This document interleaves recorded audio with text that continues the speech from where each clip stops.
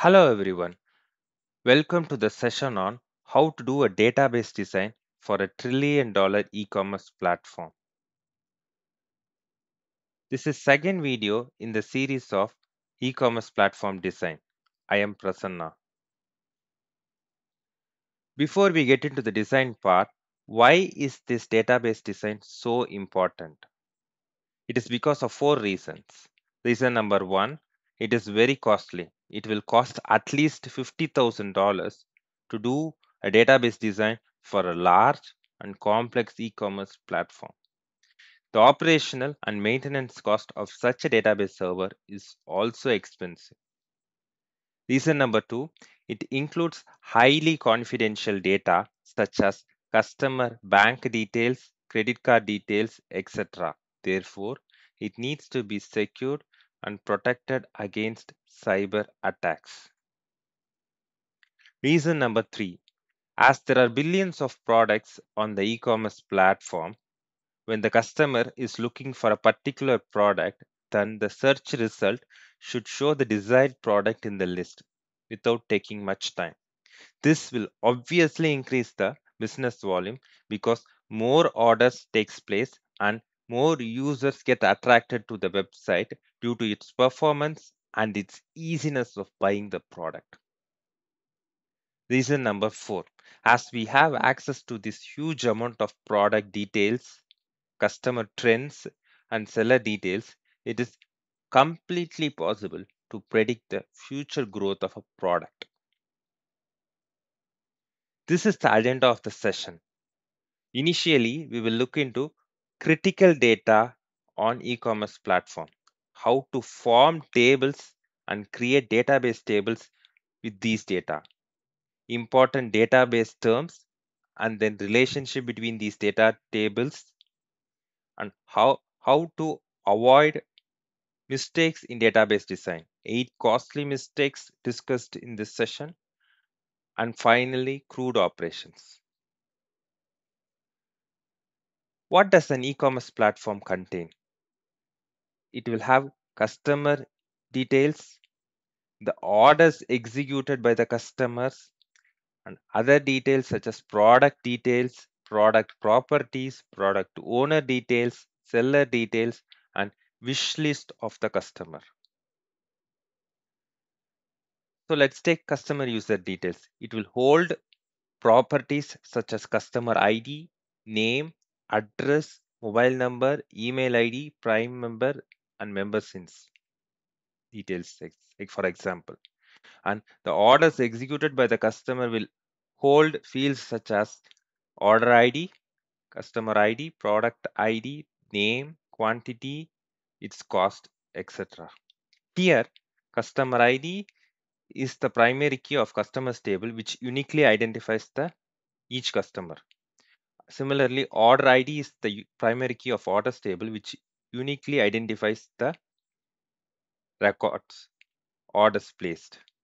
Customer ID is the foreign key in the orders table which refers to the customers table here. So with these column details, we can form the data table, we can form the table and create database tables. So you can see example data shown here for customer ID, name, Prasanna, address ID, etc. For orders table, similarly, you can see the example data here shown. Now the products table will have fields such as ID, uniquely identifying the product, name, description of the product, product cost, currency, product owner, who owns this product, and its rating, customer rating. Seller details will have its ID, name, its rating on the platform, and what type of business is it? Is it privately owned or public owned business? Its registration number, phone details, contact details, etc. Now, on an e-commerce platform, the product can be into various variants because it is based on the size. For example, let's take shoe. It can vary based on the size, based on the color, based on the material. Therefore, as we see multiple variants here, let's have a table for each of these properties, size, material, color ID. Now, the product variants is in between the products table and this universal properties what we saw. So it will have the product ID which refers to the products table, size ID, color ID which refers to the universal properties. And SKU is one critical field on e-commerce platform. It is stock keeping unit. It uniquely identifies a product variant and it's available quantity is 200 on the inventory. Now let's see customer address details. So the address field is split into various columns with address, apartment number, street number, address line, city, region, postal code. This will help in filtering the customers based on city, region, etc. easily. And here the country ID refers to the country table, which is separate with the country name. So now these address is identified by its address ID 455 and it is part of the customer ID 100 and it's in the active address. So this is the customer address table and it refers to the address table here and the address table further refers to the country table here. This is how the customer address is maintained. Customer list, wish list. So you can say uh, the list name and uniquely identified by its ID again, the customer ID, what products are added into this list, and its date, added date and comments. So now we have seen the important database tables on e-commerce platform. Let's shortly look into important terms actually to understand this database. The innermost core part of the database is the data type Prasanna which is of data type string. It's under the column customer name. Similarly, there are other columns such as customer ID, address ID, mobile number, etc. Record will have details such as 100, Prasanna, 252, mobile number, etc. under these columns, which forms the data record. A data table will comprise of a series of data such records, which includes all the customer details under these columns, customer ID, name, etc. And a database itself will have all the data tables as we saw customers, products, order ID, and these data tables are part of this database. This database itself is managed by the database management system software, which creates this database and manages this database.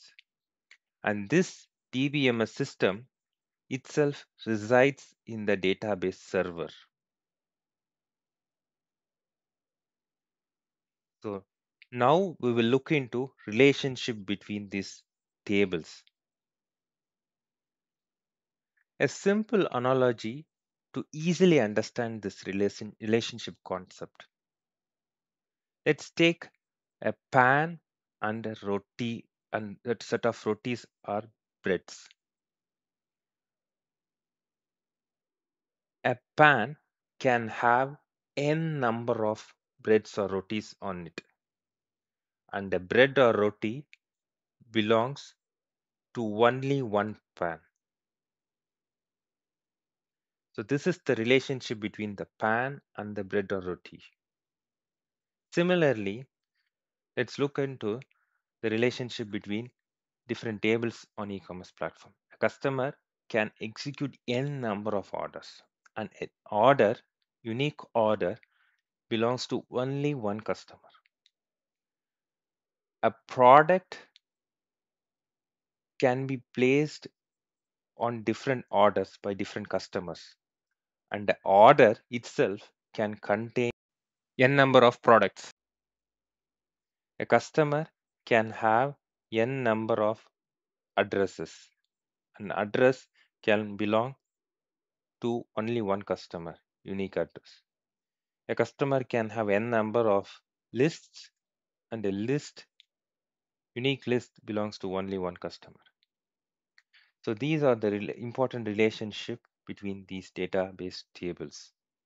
Now let's see the eight costly mistakes to avoid in database design, which is very important.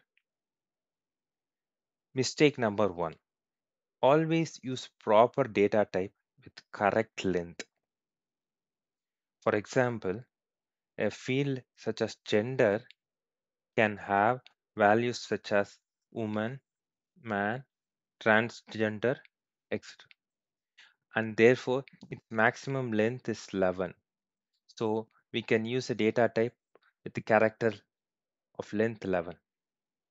Similarly, email ID can hold a maximum of 320 characters of data type n varchar because 64 characters can be used for username maximum and at the rate is one character and the domain name can have maximum of 254 characters. Therefore in total 320 characters. Phone number. It is based on our requirement. It, if it has international numbers or if it has extensions then i- the data type varchar can have a maximum of 15 length. Therefore it's all based on your requirement. There are also other data types such as date time boolean yes or no cost and if it is a tiny value like uh, less than 220 255 then use a data type of type tiny so why do we do this? It will save a huge amount of data storage space which further increase the improve performance of the database. The, uh, a summary of different data types as you can see here. Mistake number two. Never load the application layer with lot of application logic. Instead, use relevant constraints on the database itself. For example, a primary key can be used to uniquely not only to uniquely identify a record, but it helps to execute the SQL query very fastly because of this constraint. And never use a tax number for that because it can change. Always auto-generate these values with identity, etc. in the create commands. Foreign key, it refers to the primary table of another table unique key it is important for columns such as tax number username etc which needs to be unique. It can change but it needs to be unique. Two customer cannot have the same tax number. Not null if it should not take any empty values. Check if you want to add additional checks before inserting a data record into the database. Default while you are inserting into the database you- if you if you are not specifying value for the column then this is default value will be set on this column automatically. Mistake number three. Never overload the database with dupli- duplicate columns. What i mean here by duplicate columns the above table that you see is customers table. It has already the customer name. So the below table is orders table it is already having the customer id 100 which references to the customer id id of the customers table so where you can do a select query with jo- joining two tables with the conditions on customer id being same on both tables and get the customer name column details directly from the customers table so you please avoid having this customer name once again on the orders table. This will obviously take too much load on the database, reducing its performance. Mistake number four a address value is a very long string. Never have it on a single column, instead, split into several columns. It helps to filter the records easily with city, region, etc. So you can get the select the customers from the city New York very easily. And this is referenced by this ID, address ID, which is the primary key for this table. Mistake number five, always store the passwords with hash values to add additional security to the database as it is highly critical data. Never have space in between column names, table names. Why? Because it is readable, of course. When you write a select query, it may be readable, but you have to add additional quotes when you're having space in between. So have camel casing if possible, or use an underscore instead of the space. Mistake number seven. You will have values such as last login data. So this value keeps changing. So in this case, have a small data table instead of a large data table containing this data. Just the customer ID and the last login data. These two columns are enough. And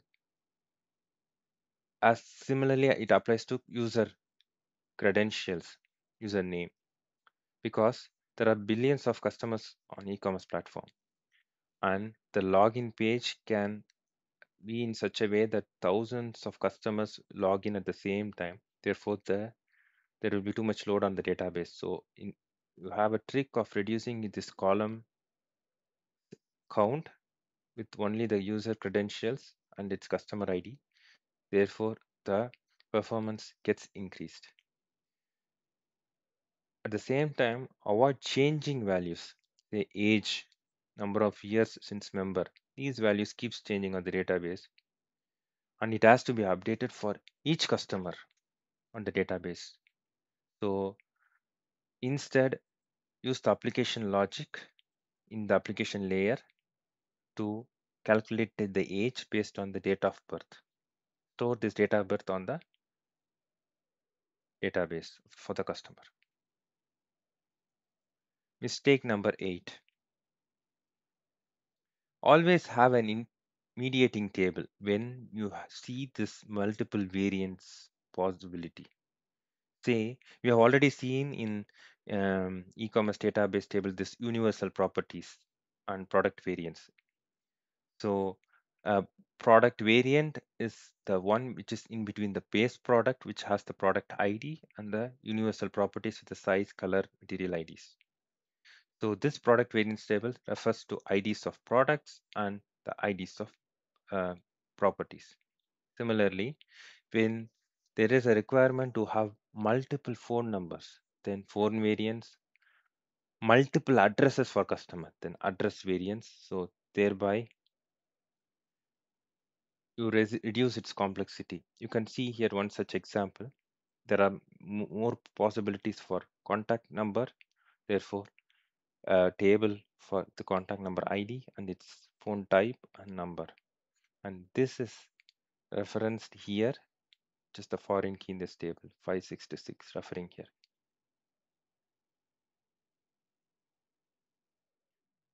So finally, we, we have we have come to the end of this eight costly mistakes topic and now the last topic which is CRUD operations. So there are four commands which you know insert into, select from, update, delete from as you can see the syntax here. We can insert the column values this way to the table customers. And we can do a join condition connecting these orders table and customers table and select the columns from both tables. And update the table this value and delete any record from the list customer wish list shopping list with this command yeah. Here we come to the end of the session. Thanks for watching. Please like share and comment if you like the video. Thanks a lot